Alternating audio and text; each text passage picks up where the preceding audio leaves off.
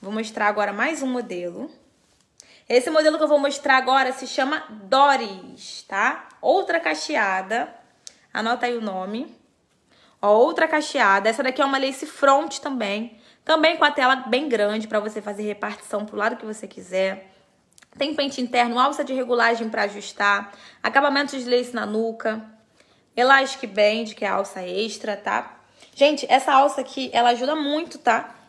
A deixar o cabelo ainda mais firme na sua cabeça. É perfeito para quem não quer colar o cabelo, tá? Essas que tem Elastic Band deixa bem firmezinho, bem justinha na cabeça. Você se sente muito segura.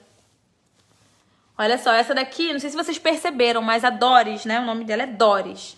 Ela já tem uma textura, né, de cabelo, uma, uma, tá vendo, mais crespo, é mais fechadinho o cachinho dela. Lembrando que tá na forma natural, tá? Mas depois você vai finalizar da forma que você preferir. Repartição livre pro lado que você quiser. Ó, os cachinhos dela mais fechadinho.